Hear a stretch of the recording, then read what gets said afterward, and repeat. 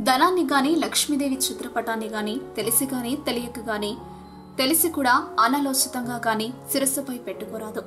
ఈ విధంగా డబ్బును గాని లక్ష్మీదేవి పటాన్ని గాని తలపై పెట్టుకోవద్దని చెప్పే పెద్దలు దీనికి ఒక కథ చెప్తారు.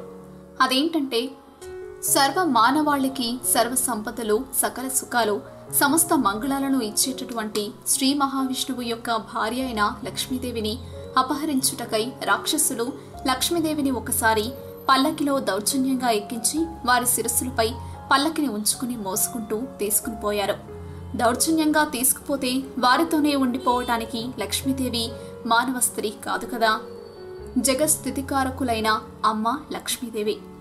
ఆమెను నియమనిష్ఠులతో భక్తి పూర్వకంగా పూజించాలే తప్ప దౌర్జన్యంగా బలవంతంగా వారి వద్దే ఉంచుకోవాలనుకోవడం రాక్షసుల మూఢత్వమని తేటతెల్లమవుతుంది. రాక్షసుల ప్రవర్తనకు లక్ష్మీదేవికి కోపం వచ్చింది. దాంతో రాక్షసుల లక్ష్మికళ నశించింది. దేవతలకు రాక్షసులకు మధ్య జరిగే యుద్ధంలో దేవతల చేతిలో రాక్షసులు చిత్తు చిత్తుగా ఓడిపోయారు.